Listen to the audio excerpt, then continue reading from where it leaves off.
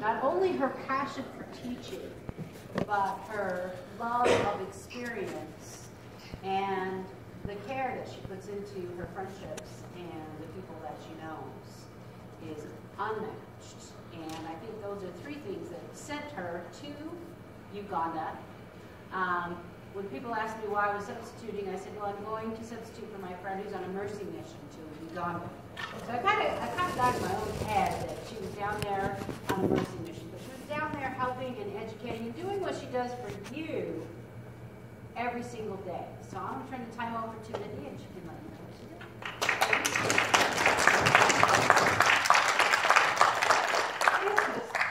She just comes up with that.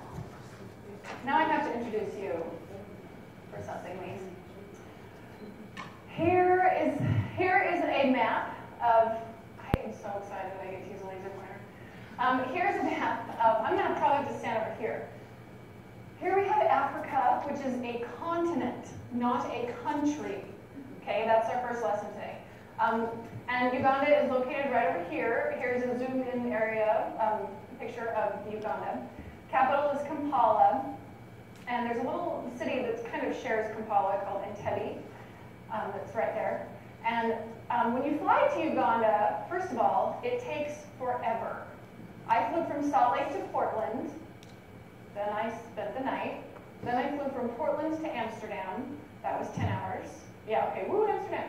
And then I flew from Amsterdam to Kigali, actually, and that was another 10 hours. Kigali is in Rwanda. Flights going into Uganda stop in Kigali for 30 minutes. If you're getting off in Rwanda, then you can get off the plane. If you're not, you have to stay there. So my first experience in Africa was watching refugees load the plane in Rwanda. They were your age. After over 20 hours of flying, messed up time zones, dark for way too long, I was completely overwhelmed when I overheard a young man behind me talk about how he was moving to Atlanta, Georgia. And he had a backpack and a jacket. And I, I didn't know if he was from Rwanda or Tanzania, or I didn't know where he was from. But I knew he was a refugee because he had a big bag around his neck that he had clearly been told not to take off.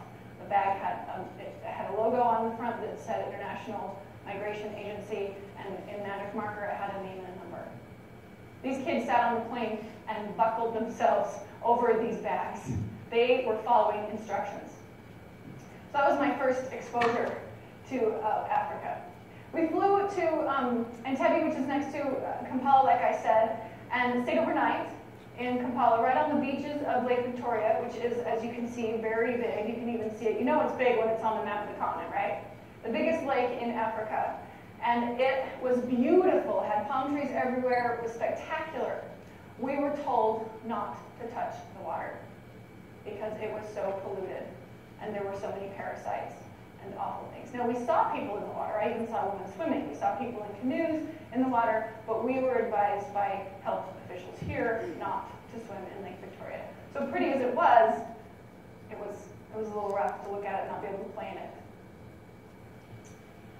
From Kampala, we went to a town called Masaka. We drove south. It took about three or four hours um, in a car. Now, that doesn't mean it was three or four hours at 60 miles an hour because the roads in Rwanda are in Uganda look like the dough when you roll out the with the rolling pin and it's all weird on the side, right? Like that's pretty much what they did. They had one splooge of tar and then the big heavy machine rolled along and squished it out. So the, the roads were not ideal. They weren't six lane highways, they were two and a half, maybe three lanes, but you know. And we were lucky to have really excellent drivers. I went to Uganda to work with women who suffer from obstetric fistula. If you were in my class, you learned about it because I am me all the time, everywhere. And if I'm thinking about fistula and talking about it, then I'm talking about it in my classroom too and educating my students about it. Obstetric fistula happens when a woman has prolonged labor where the baby can't pass through the birth canal. Usually the baby dies and the mom is left urine and sometimes feces incontinent. That means they leak. They're lucky they only leak number one. Over 100,000 new cases of fistula happen in sub-Saharan Africa every single year. Why doesn't it happen here? because we get C-sections. We have access to hospitals and doctors. These women don't. So they end up in hospitals like this. This is the Kitovu Hospital in Masaka, Uganda. Major cities in Africa have open fistula hospitals. Kitovu is a regular functioning hospital, but they have a VVF. VVF is vesico-vaginal fistula. They have a particular VVF ward in their hospital. That little we care, oh, um, a little we care right there, that they were colonized by the British, so Uganda's really into sculpting their bushes. So that's right at the entrance to the hospital. And then this is just down the road a bit, the entrance to the VVF ward. Um, before I go into this a little bit, the, the, the hospital was, the VVF ward was opened in 1987 by a nun who was also a surgeon. I wasn't, I didn't know that nuns were, like, could become surgeons. This woman was a surgeon and she came to Kitovu in 1987. She's 76 years old now and she still runs the VVF ward at Kitovu Hospital. And her name is Dr. Maura Lynch and she is, I would never cross a nun. And it's not because I'm worried about God, it's because I'm worried about her. she, she is a very strong woman. I learned about this project from my friend Linda about three years ago. She's been really active in Uganda for 15 years with various women's issues. So the project started with people in Uganda or people in um, the US knitting these squares together and seaming them into blankets and giving them to fistula patients as they left the hospital. These women were so happy to receive these because it was the first piece of clean fabric many of them had owned in years. So they were just thrilled to receive them. Linda's people also donated uh, blankets for each. This is the recovery ward in the hospital, and they donated blankets. So every hospital bed has one of Linda's blankets on it. We repaired a few while we were there.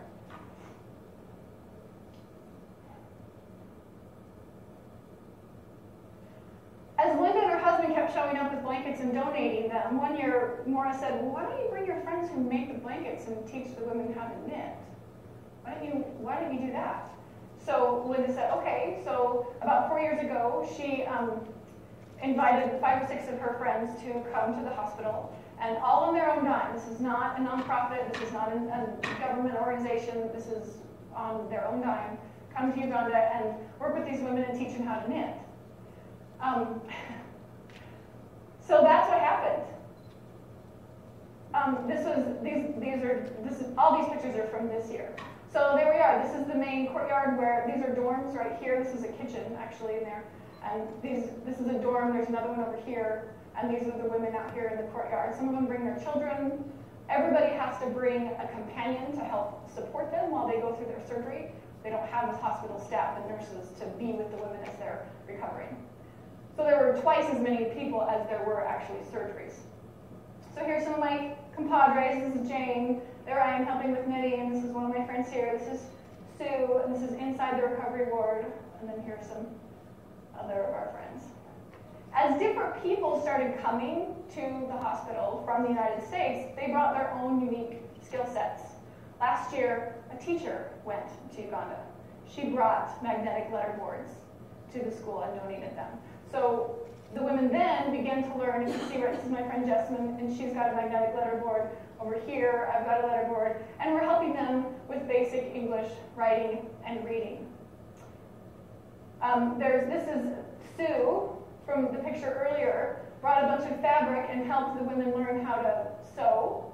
So here, and some of them, obviously a bunch of them already knew because they make a lot of their own clothes, but they hadn't seen these types of fabric before, just in the same way that we think African fabric is beautiful, they think a lot of American fabric is beautiful. So, so here she is, this woman making a skirt for herself. Here is Sue, she brought a project in making pot holders, which was really funny because we didn't share the same language. We had we had to do lots of action and movements and things to help them understand. So we had to explain what a pot holder was. And the only way I could figure it out is to take the little sample that Sue had and go into the kitchen and take the pot, the lid off this huge cauldron. I mean, they make their beans in these huge for this hospital in this huge cauldron, and, and like run out into the courtyard with this lid in, in the pot holder. And they still looked at me like I was crazy. Like, why would you do that? Why don't you just pick it up with your hand? And we saw people as they were cooking, they just, they, they were, they were tough, really tough women. Uh, let's see. So knitting, crochet. Here's some of my other friends knitting here and here.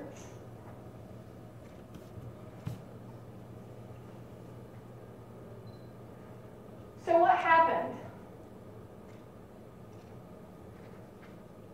When somebody smells like urine, nobody wants to hang out with them.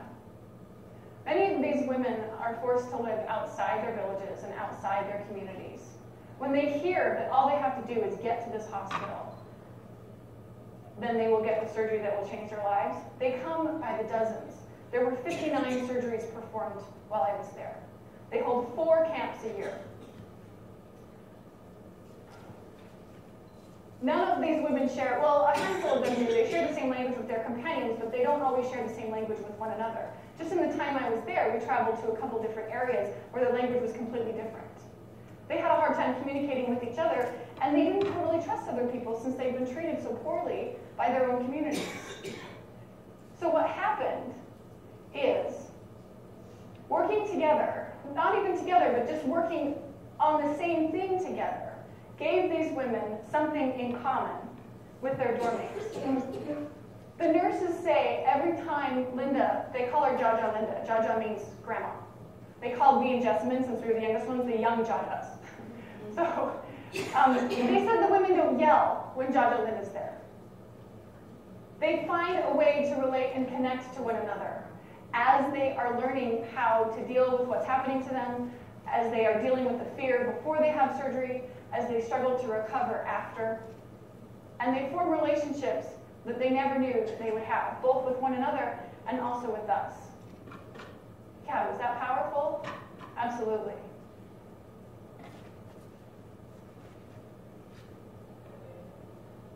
The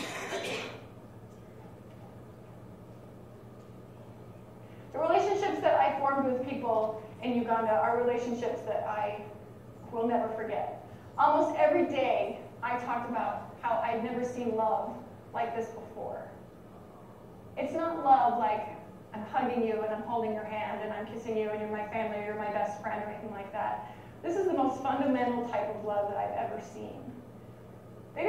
About each other's self esteem, but they would share their last meal with each other.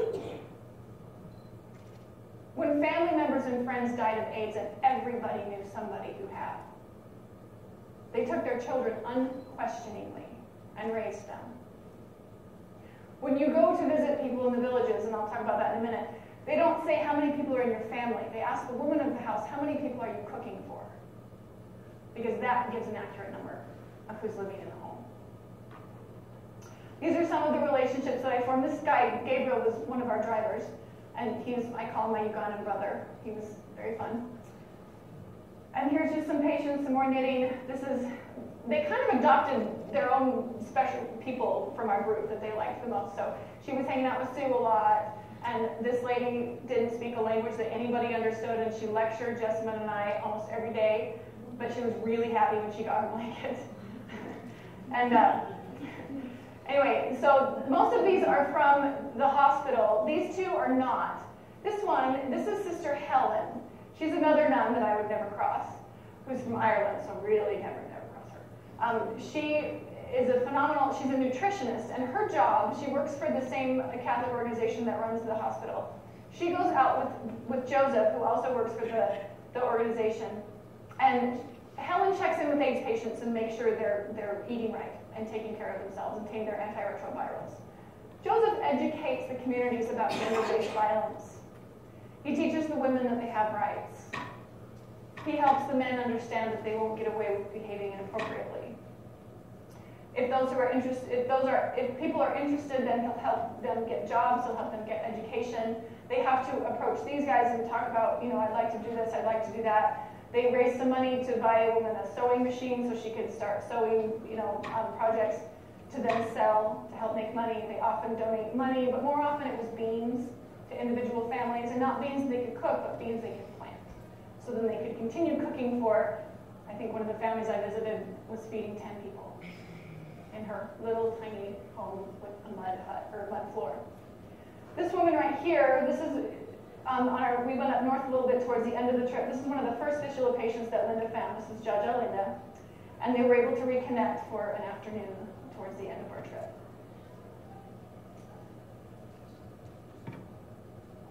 I never forgot that I was not in the United States. This was a big one. So after like crying over the refugees that I saw in the airplane, and then we flew for another half an hour and got to um, Entebbe, this is what greeted us when we got off the plane. We came in and there were nurses with hand sanitizer and thermometers, and they took everybody's temperature and they made everybody use hand sanitizer upon entry to the country. I don't know what they did if you had an elevated temperature, because mine was fine. This was a very typical meal. Greens with a question mark, just green stuff that I ate because it was green and I knew I had iron. This was cabbage, that was kind of a treat. Beans, beans, every single meal, breakfast, lunch, and dinner. Potatoes, they grow lots of potatoes, lots of different kinds of potatoes. Had sweet potatoes, regular potatoes. They called, something was Irish potato, I never figured out what that was. This is like a naan or flatbread that we ate. There's a lot of influence from Indian, India and Indian food. This is another baked bread. And this is a samosa, which is another Indian piece. I think it was a chicken samosa. Uh, I didn't eat, I, I, tried some meat. I'm pretty sure I ate goat. I'm not, the only meat I definitely didn't eat was the fish or the chicken. The fish because I thought, well, it's coming from Lake Victoria. If I can't put my toe in it, I'm not going to eat the fish from there. And the next that I didn't eat was the chicken because I saw so many chickens running around eating garbage that again, I was like, I don't want to eat the chicken that's been eating garbage. I thought this was really funny, so I took a screenshot. It says, sorry, Pandora is not available in this country. Because, you know, I totally thought I'd try. We slept under mosquito nets every single night. There's a mosquito net um, around my bed. Nobody, I think a couple people got bites. I didn't get a bite, but nobody, we all took our malaria medication, so we didn't get any. This is a very, very typical construction site seriously, this ladder is bound together by twine, and I'm pretty sure they made it with the stuff left over, you know, that they didn't use for the foundation over here, okay? It was unsettling that I look at my hotel wall and go, that's what's inside, great. You know, I hope there's not an earthquake. But that's what they had, and that's what they, and that's what they worked with. These are the boxes that we took, we took our supplies, the blankets and other things that we donated uh, we took those, we had, I counted up yesterday, 16 of these Contigo boxes. Each of us had two, Linda and her husband had three each because they, they got to ride first class, you get to take three to go there.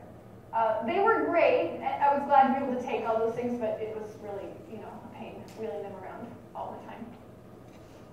Other things I don't have pictures of are um, security guards at ATMs with rifles in their hands right there. Like I didn't want to go to the ATM because of the guy protecting me at the ATM. It was it was a little nerve wracking. Every time I saw a child, they pointed at me and said Mzungu, which means white person. Not bad, not good, just white person, because they didn't see a lot of white people. There was, I don't know if this is surprising or not, but um, I was the only LDS person on the trip. So as we first drove up to our um, hotel, right, right across the street, guys, there was a building that kind of looked like this, and then there was a building that was complete with a sign out front that said, the Church of Jesus Christ of Latter-day Saints. And all the ladies I was with, Mindy, there's your people, there's your people. I thought, great, I'll go visit them. But nobody was there the whole time. I thought, well, I, you know, I go say hi. Even not, even if I wasn't LDS, I'd be like, hey, we're from Utah, you know. But they, there was nobody there the whole time.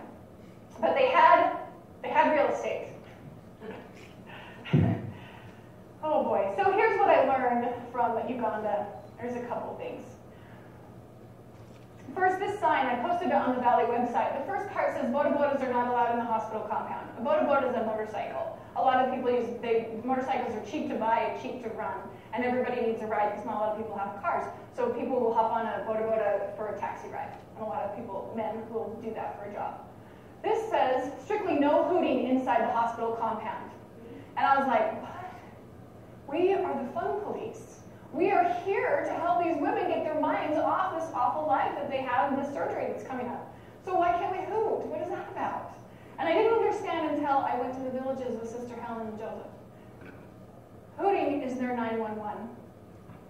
Every community has their own unique hoot that they use when there's an emergency. They all know what it is, and they only use it if they want everyone within earshot to come running. You can see why it's not allowed in the hospital. But how cool is that? That's what got me. The Ugandan people take care of each other so much and so well. They don't wait for somebody else to call the police because something happened. They help. One of our drivers woke up in the night hearing his neighbor crying and making all sorts of noise, and he went over there, and his neighbor was suffering so much. I even just put him in the car and took him to the hospital.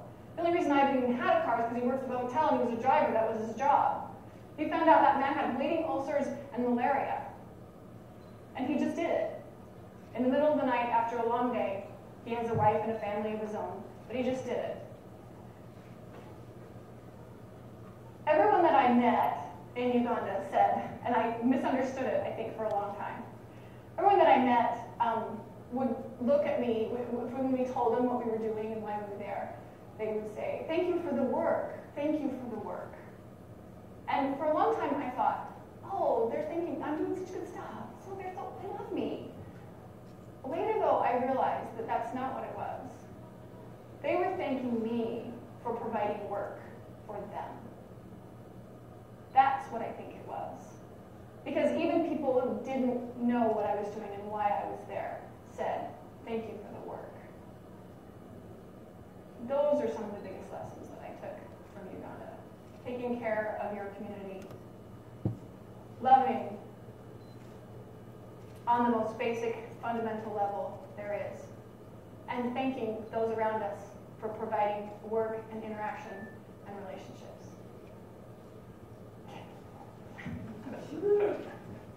Not crying, I'm crying. I don't do that. I cried yesterday when I practiced. Okay. Totally I stopped. can't do that. So here's my people. Um, I didn't introduce them all. So this is Jessamine, the young Jajas. Jessamine, Mindy, Jaja Linda, Sue, Barbara, and Jane.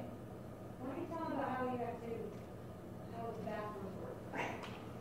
No, like, Just for fun. Like, not possible, but, well, you know what I mean, like you said, it was just different. They were different. And most of the pla- the hotel we stayed at was had it had a toilet, it had a flush toilet. Sometimes it wouldn't flush. And how the water had to get there from this big, Oh, okay. So that was in this place that we stayed. This is um, we we took like the last day, or was it one night or two nights? I think it was one night, and two days, and then kind of decompressed a little bit um, after the trip. And we were staying in the Bandas. I didn't take a picture of it because it wasn't really about the hospital and stuff, but the old school, you know, typical African huts, right? They're round with the pointed roof and that whole thing. So we stayed there, and the there were flush toilets and sinks with faucets. It looked totally normal, right?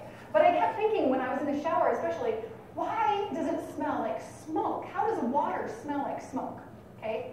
And I didn't realize until I got out and I looked, and there was this hill right up behind me with a 50 gallon drum and a fire underneath it. And there's a little girl up there whose job it is to stoke the fire all day to make the water warm for me. And maybe I think the bonded next door. I think there was one 50 gallon drum to two little units. Okay, now this was a resort. Okay, this was, right? And and the best part is the morning, one morning I went to flush the toilet and I knocked the tank off the wall because it was held there like by zip ties or something, you know. It was so because it's not like you know I would have been better It was really a hole in the ground, but but it was a resort, so they were going to give these Mzungus, you know, flush toilets. But even in some places, we stopped at gas stations a couple times, and there was like the bottom of the toilet, but not the top, like the porcelain drain, you know. But I'm a camper. I don't mind. Some of the old ladies, I was like, I'm glad that Jessamine and I were roommates because you know how the ladies have their little routines and stuff. And I'm like, you guys can room together and do your thing. But nobody really complained. We were a pretty tough group. Any questions? How many days were you there? I think 10, was it 10? We were actually at the hospital for a full week. Linda said it was the longest that, that there had been people at the hospital. And it was, did I say that the staff said that the women don't yell at each other anymore? They don't Yeah. yell when, when um, we're there. I think their minds are, you know, somewhere else because they have these fun little projects they do. When a woman goes in for surgery, how long does she stay? What's recuperation? They, there were women who had surgeries and recuperated within that week that I was there. They stayed there for the whole time. They have to, the longest recovery isn't really their strength as much as just making sure that it worked. So they have to kind of, and they have to have a catheter in for, a, you know, a, I think it's two days after the surgery. So then when they pull the catheter, then they can say, okay, is it holding? you know? Um, so, but there were women who left while we were there. These doctors, there were three doctors there, and they did, a, uh, in addition to Dr. Maura, who, they went through 12 plus surgeries a day. I mean, they just circulated them through, and they, they really knew how to, you know, take care of stuff. And it was really sweet. You know, you saw pictures of some women in hospital beds that were knitting and sewing and doing these things. It was such good occupational therapy for them as they were trying to recover. There was one little girl that was carrying around, they don't have cath bags, right? So they had, I don't, I think there was a couple pictures, but they had like a little bucket that their little cath tube was tied to, and they just walked around with this little bucket. And so they, they'd come out, you could tell those were fresh from the, you know, surgery. They'd come out to the courtyard and they'd have their little bucket, and they'd come and ask if they could sit. I bought a mat, one of those mats that they were sitting on, and they'd ask if they could, I would have to invite them actually, they wouldn't ever ask to sit on my mat. And when I did say they could, they'd take their shoes off, which was just, I mean, that kind of just basic fundamental respect was amazing. And um, they'd sit down and then work on it. But then you could tell, like this one little girl I'm thinking of was just, I could tell she was hurting. When you say little girl, how old? Oh, there were 14, 15, 16, 17 year olds. That old lady that lectured Jessamine and I for the whole time she was there, she was the oldest one and she was in her early 60s. But so she'd been suffering probably for a long time. But that was the thing about these women. You guys, they lose the baby. So these young girls are either forced into marriage, okay, sometimes they're raped, sometimes they just have a boyfriend and got pregnant, that happens, right? Um, and then they have this awful experience, they lose the baby, and they're leaky. And nobody wants to hang out with them anymore. So, it, I mean, it's just absolutely devastating. And then they get there, and some women do lose their babies, so they're watching all these other women who are nursing their babies. It's just this really complex dynamic of, of emotion. When you have, like, what do people do there for jobs? What,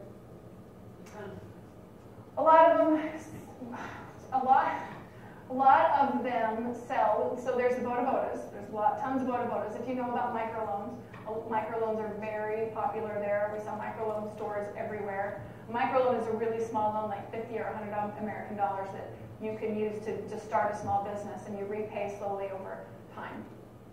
Um, so there's lots of Boda Bodas. A lot of people sell things at the market. People are always selling clothes. Sometimes they'll make clothes or fabric stores. So sometimes they'll make clothes. I think more women make clothes and wear them than make them and sell them. A lot of people will raise pigs. They'll raise pigs, they'll raise goats or other livestock, not a lot of cows. It was interesting, we noticed as we traveled around that the thinner the cows were, the poorer the area was we were in. And the area with the falls here, um, that's a very, it's called Sipi Falls. If you're a coffee drinker, you've heard of Sipi Falls or Sipi Valley Coffee. So that's a very well-known area for coffee. We watched a coffee making demonstration that took forever because the guy had to boil his own water. That was another thing too, the water. People said, what do you learn or what you, are you more grateful for what you have? And I've always been really grateful for what I have, but I'll tell you what, when I turn on the faucet, I, do, I don't have to go get water 10 times a day. And I know my water is clean. And these guys have to go get, they have to just go get water, and you just hope that it's clean. And sometimes they can heat it to boiling, and sometimes they can't. do kids go to school? Education is free until, I'm so glad you said that because it was in my notes. Education is free until sixth grade, age 12. Then you have to pay. And every time I asked about how to, like, how do you become a teacher, because Gabriel, and you got in He said, well, have a school. Will you support my school? I'm like, well, where did you go to college? Hmm. What? What? What? How did you get licensed? We just opened a school. Like, okay, where did you learn about your trade? And he couldn't really answer me. And when I spoke to other people who were also educators, they couldn't really answer me too about what, you know, about how they how they became qualified to be teachers. Not to say that they weren't teaching kids, because I think they probably were, and it's better than nothing. But if these people are going to get themselves out of their situation through education, they have to they have to do something that they can at least put on paper to show that they you know that they learned some stuff. That was that was one of the most devastating things for me too, is just the access to education. I believe so strongly in access to public education and the fact that these people couldn't get to school. And a lot of times, the kids just quit because their parents can't afford it, or if they're a bunch of kids, parents pay for the boys to go to school, but not the girls. What was the climate like? Uh, it was like 80 degrees the whole time. Was it muggy and? It was it was muggy, like Hawaii. You know, it was tropical S palm trees everywhere. Hibiscus. That picture of me with the flower in my hair. That was I was like hibiscus. Oh my gosh, like a whole hedge of them. It rained pretty hard one day. I did go visit like a legit Catholic school one day, and um, it rained pretty hard while I was there. That school was pretty fascinating. These cute girls applauded when I told them I was a teacher. And I was like, you're gonna make me cry. Linda and her husband, and even Jane actually, maybe she doesn't want people to know, but I'm telling anyway, sponsor young ladies when they find a candidate that they believe has enough family support that they can go through a, an education program, then they find them. The Fistula Foundation often will support young girls who've received the surgery to get their education. But sometimes it, that it's kind of hard to find. We were looking at some patients who were good, but they'd say, well, I'm married, I'm going to go home and have my babies. The women have to come to come to the hospital? That's a hard one. We don't we don't really know. Kapchorwa was where that first patient was from. That was like an eight-hour drive. In a you know, it was some come from really far, far enough that when they get pregnant again, they have to get a C-section. They they're told this when they recover. If you get pregnant again, you have to get a C-section. So when you feel the baby move, start walking towards Kitovu. Babies move at three months.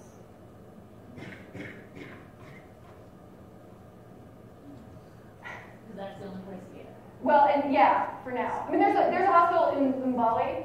If you on the map from before, there's another um, hospital in, in Mbale, but really those are the two biggest ones. And it's free. They just have to get there. And do they mostly walk? A lot of them walk. Sometimes they sometimes they they can catch rides. In my class, we read stories about women who finally got the money for bus tickets, and then once they got on the bus, the people on the bus made such a fit about their smell that the bus driver gave them their money back and told them to get off. I wish we could sell everything. I think we're gonna have to go back to class then.